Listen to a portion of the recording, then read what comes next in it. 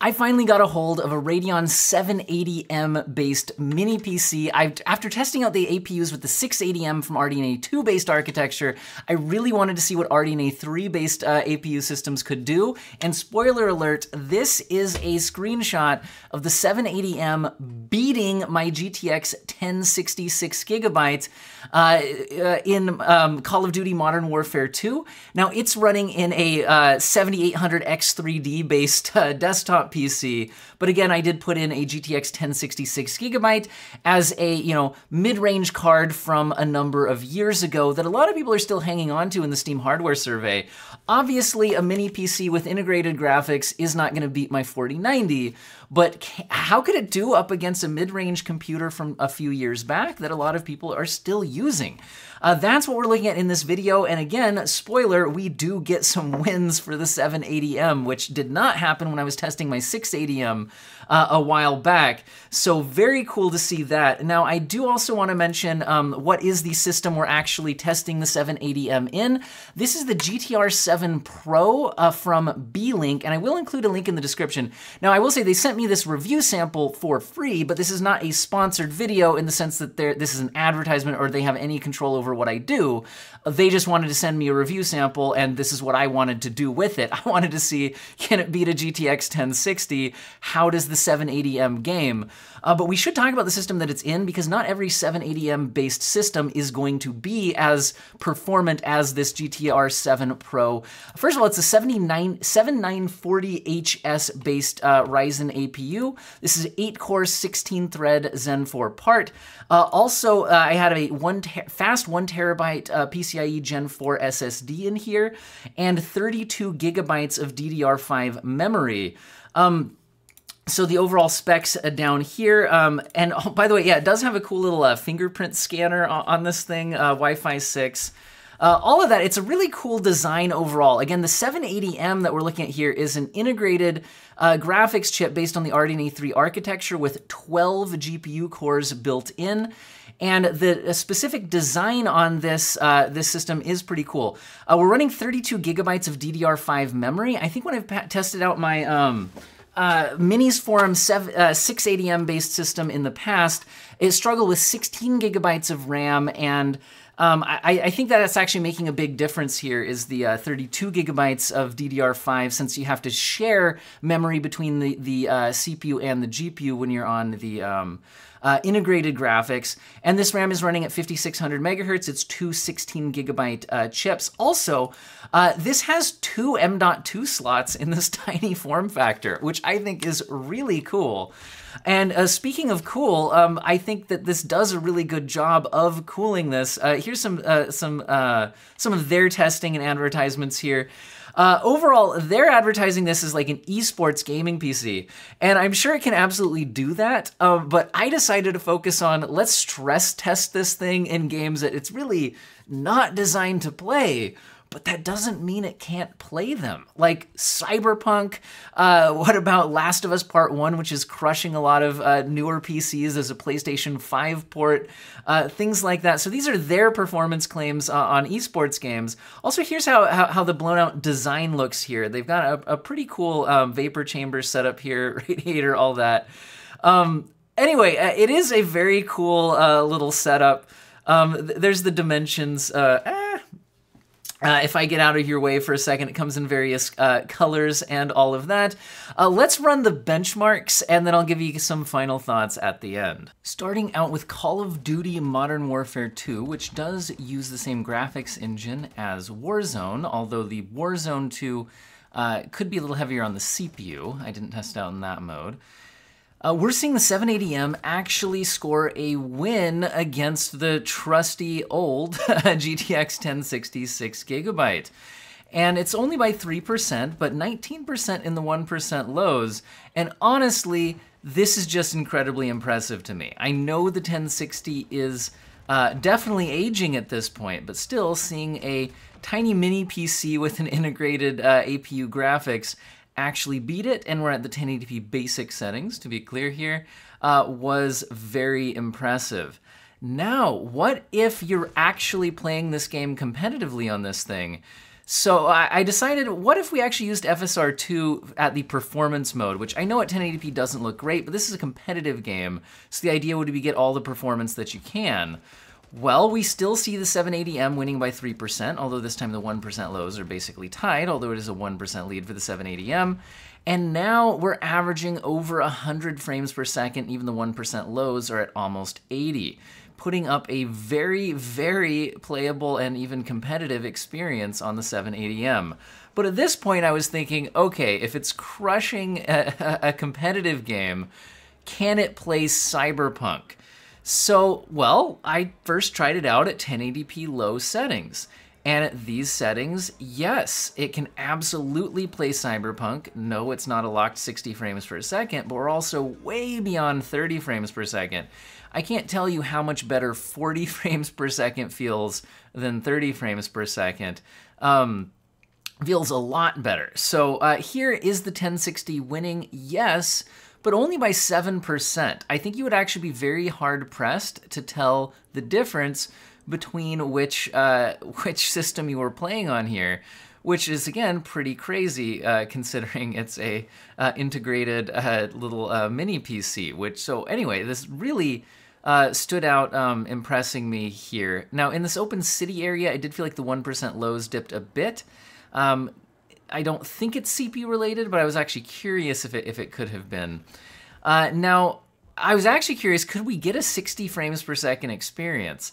So I tried turning on, okay, FSR2 at the quality setting. So yes, this is low settings with F FSR2 quality upscaling, which doesn't look amazing at 1080p. We can start to see a little more uh, aliasing on the fence line here and the palm tree branches, a little bit of instability, things like that. And the 1060 is still winning, this time by 8% and 26% in the 1% lows. Remember, it's on a higher end CPU, so that could be related here. But we are getting just about a 60 frames per second average on the 780M. Uh, just shy of it, although the, actually we did finish with 60 average, but the 1% lows are a bit further back. So at this point, I was like, okay, if you can get a 60 frames per second experience in this game by tweaking, uh, you know, some upscaling on the low settings, okay, let's just torture test this thing and go up to ultra. So by going up to the ultra settings, neither test system's doing well here. Uh, the GTX 1060 is struggling to try to average 30 with definitely 1% lows well below that. Although now the 780M system is falling further behind. It's a 15% lead uh, for the 1060 on average, but 64% in the 1% lows. So you definitely are not going to be wanting to play this game at ultra settings, which is um, understandable. I was curious though if uh, just using some upscaling but keeping the graphics cranked to ultra was going to be a realistic thing to do. Uh, but it did not look like it completely solved the issues with the 1% lows, although it did at least get the averages over 30 frames per second. Um, the 1060 was still ahead by 19% here and 81% in the 1% lows. Now noticing, I, I, was looking at the VRAM usage here. I was wondering why is the 1060 doing so much better relatively here than it did in our earlier tests. Uh, I believe the APU is allocating 4 gigabytes of VRAM dedicated to the uh, graphics uh, chip, and the 1060 has six, and it's using five. So I think this could be a VRAM spillover related. So I was curious as we turn down settings how performance would change. So I went ahead and tested out 1080p high settings. And um, while the 1060 is able to average 30 here, it still has 1% lows below 30, um, but a lot smoother frame time graph if you compare frame time graphs. Uh, the Beelink system here with the 780M is not averaging 30 and it does have the 1% lows especially down a bit lower. So it's a 56% lead in the 1% lows especially as it goes through this city section here. That seems to be um, uh, rough on the 1% lows on the uh, 780M based system. So I was like okay let's give this setting another chance with upscaling I, I, was honestly, I guess might be like, wow, are you really going to test like every single setting on uh, on Cyberpunk here? I was having a lot of fun testing out this uh, 780M based system, just seeing how far could we push it. Uh, well, uh, with the high settings with FSR2 on quality, it's still not solving the issues in the 1% lows, and I'm still noticing the VRAM spillover. It's averaging actually up in the mid 30s now. Uh, but this 1060 is winning by 29% here, and 1% lows are over double the performance. Uh, so this did not solve the problems for the uh, Radeon 780M based system. And again, I think this could be VRAM related. So going down to medium settings, I found this was very interesting. Uh, if you look at the GTX 1060, it's now allocating about four gigabytes and using less uh, a bit less than that. And now suddenly the 1% lows are so much better on our 780M based system. And once again, the 1060 is only ahead by about 5% on the averages and 12% in the 1% lows. And the 1% lows on the 780M are now very close to 30 frames per second, meaning you get um, an, you could frame rate cap to 30 and get a pretty good experience on the 780M based system here. Uh, which uh, would be a pretty interesting way to play the game. So I do think, at least in Cyberpunk, it seemed to be a VRAM issue, and once we got the settings under control for that, uh, things were a lot better. So then sticking to the medium preset, but also engaging FSR2 at the quality settings, so you lose some stability in some of the details, um, but you gain a lot of performance here. Uh, now, actually, check it out. The 780M is averaging around 50 frames per second, and its 1% lows are up near 40. This is actually a very, very, very good experience. I mean, relatively, you know, to what it is, right? We're not locking 60 FPS, but the game actually looks pretty good at these settings. Um, you know, for these kinds of expectations and is performing quite well, very playable. 12% lead for the 1060 here and 24% in the 1% lows. Now, I think that's enough Cyberpunk, but considering we could get Cyberpunk running so well, I mean, we even could hit 60 FPS with the right settings, I thought, okay, let's try out one of the latest uh, PC crushing PS5 exclusives that got ported to PC with The Last of Us Part 1. This one is very VRAM hungry, so uh, I knew this this could be a bit of a torture test here. And sure enough, the 1066 gigabyte is winning by 33% here and 20% in the 1% lows, and the 780M base system is under 30 FPS. The 1060 could uh, average in the mid 30s here with the 1% lows right around 30, so you could get a decent locked 30 experience at 1080p medium on the 1060. Uh, but what if we tried upscaling a bit? So uh, kicking on FSR2 at the quality settings, so we do lose some stability to the image and motion especially. And the 1060 uh, winning by 31% here and 27% uh, in the 1% lows, but the 780M is now has its 1% lows over 30 frames per second, uh, averaging around 36, which means you actually could get a nice locked 30 FPS experience uh, at least in the section of the game that I'm testing here on the 780M based system, in one of the most demanding games here. And again, that was medium with um, upscaling. So now I thought, okay, what if you want to play it native 1080p? What if we drop down to the low settings? And dropping down to the low settings at a native 1080p actually would get us over 30 frames per second in the averages and the 1% lows on our 780M based system uh, which I, I, thought was very, very cool. But the 1060 is beating it by 28% on the averages and 19% in the 1% lows. And again, I'm suspicious that this is because of the VRAM, because you can see the 1060 is going well over 4 gigabytes of VRAM uh, in this setup. Uh, I did try out enabling FSR2 quality at the low setting just to see how far we could push the frame rate. The 1060 is now almost a 60 FPS experience in this game. Um, whereas the 780M is in the mid 40s, including the 1% lows up that high. So, uh, again, games in the mid 40s feel pretty responsive, especially a game uh, at, at, this kind of pace. So, very, very playable experience, even in a game like The Last of Us Part 1, uh, which is very interesting. Now, I also tested out some games that are a little bit less demanding, like Forza Horizon 5 at its medium preset, and here the 780M is averaging close to 70 frames per second. The 1060 is a little bit above. The uh, 780M is a little bit below 70. It's only a 6% lead for the 1066 gigabyte here and 2% the 1% lows. And again, if you look at the VRAM counter on the 1060, we're at around 3 gigabytes allocated which means that again it seems like when they're not constrained by the by spilling over 4 gigabytes of VRAM in some of the heavy late uh, new games uh, these GPUs really actually do perform roughly on par. Um, I even tried turning up to the high settings, noticed that the 1060 was staying under 4 gigabytes, And our 780M system is actually averaging 60, although the 1% lows are down around 51, but that's true on both systems. They're almost tied in the 1% lows. And the uh, 1060 is only ahead by 10% here. And like I said, both of them are averaging, well, we're getting 60 average versus 65 average um, at 1080p high settings in Forza Horizon 5. This is a really great experience and a nice smooth frame time graph. Now, knowing that VRAM was an issue, I decided to try out one more game that really does push VRAM quite a bit. This is Resident Evil 4 Remake, 1080p at the prioritized graphics, so that's like its max preset that doesn't include any kind of ray tracing. And the 1060 is just crushing uh, the 780M based system here by uh, you know 52% lead on average, 61% the 1% lows. The 780M is under 30 frames per second, whereas the 1060 is very playable at a 40 FPS average. Um, if we try kicking on FSR2 at the quality preset but leaving everything maxed out, actually the 780M is now putting up a surprisingly decent uh, 30 FPS uh, in the 1% lows and over 30 FPS average, meaning you actually could get a pretty decent locked 30 experience on the 780M. However, the 1060 is up around 50 FPS and is winning by 55% uh, on averages and 68% in the 1% lows.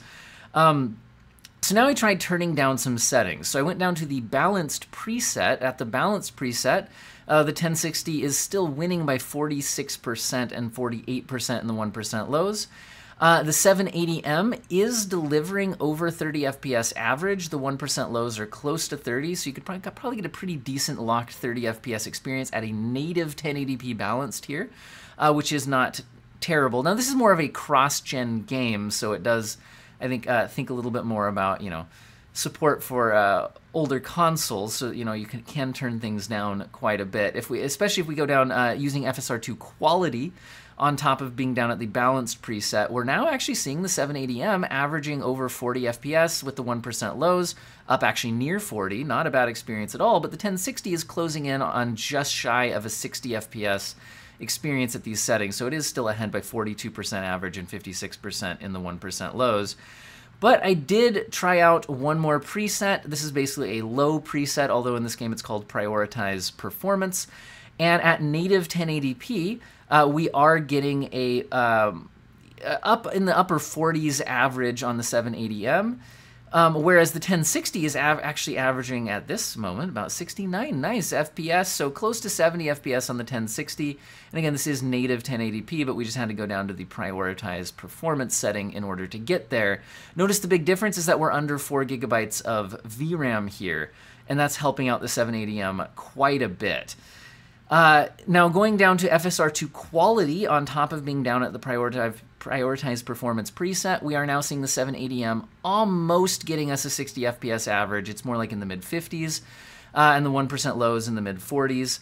Whereas the 1060 is pushed all the way up to an 80 FPS average, and it has a 52% lead. So this game wasn't the best for the 780M versus the 1060. Overall, I was extremely impressed by what this 780M based system from Beelink was able to do. And uh, I think it was really cool that we saw it get some wins against the 1060 6GB. Now, I will say that, like Call of Duty, for example, is uh, does tend to just really like AMD GPUs uh, versus NVIDIA, so I think that could have factored into this bit of a win here. But we saw it not too far behind in a lot of other situations. As I noted during the benchmark run, I think the VRAM capacity uh, did seem to be at least related to that, where the um, 780M seems to get allotted a 4 gigabyte VRAM buffer. Now, I'm not a real expert with APUs, to be honest. Maybe it's possible to change that beyond the 4 gigabyte limit since we have 32 gigabytes on the system. Maybe we'd have uh, seen some um, some better results there. I'm out of time on testing here. um, but uh, the other thing I want to look into, uh, well, I think that I think would be interesting is that I have the six gigabyte version of the 1060. There's also a three gigabyte version, which is a little bit slower and has less VRAM. I have a feeling we would have seen more wins for this uh, 780M based system if we were up against a, uh, a 3 gigabyte version of the 1060. That would have been pretty interesting. Now, I do want to make sure that I'm clear about the fact, though, that I'm not saying that this Beelink based, uh, you know, you know, 780M based system is the best value gaming system that you can get uh, for, uh, I think this is around $869 is I think what it lists for. Has some cool color choices and stuff too. If you're just looking for performance, right? You're paying for this cool tiny little form factor. I do want to be clear that if you're just trying to build a gaming PC for around $850, uh, you could build something that is going to perform much better than this does, but it's not gonna be in a tiny little mini PC. so there's something to be said for the mini PC. Maybe you just don't have room for a big full uh, tower uh, for a desktop PC. Um, maybe uh, you just like the cool little form factor, something like that. Uh, for me personally, what am I going to do with this? Um, well, it's the summer right now, but a lot of you guys know I'm a high school teacher, and I've had my little um, Minisforum PC uh, with the 680M set up on my desk at work, and I do play games on it on my lunch break.